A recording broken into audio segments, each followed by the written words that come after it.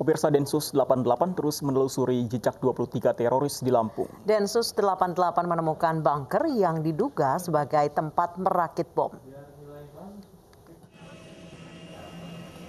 Setelah 23 tersangka teroris dibawa ke Jakarta, Polda Lampung dan Densus 88 terus mengungkap jaringan terorisme di tanah air.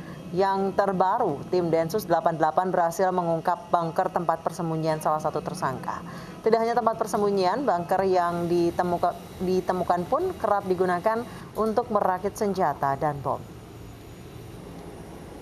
Di dalam bunker yang ukurannya 3 kali 2 kali 2 meter ini, di situlah aktivitas dilakukan, uh, di mana bunker ini juga ada airnya. Jadi ada di situ ada genangan air di mana gunanya genangan air setinggi lutut ini ialah ditujukan untuk apabila dicoba senjata yang dihasil rakitan tersebut tidak akan terdengar dengan tetangga kiri kanan dan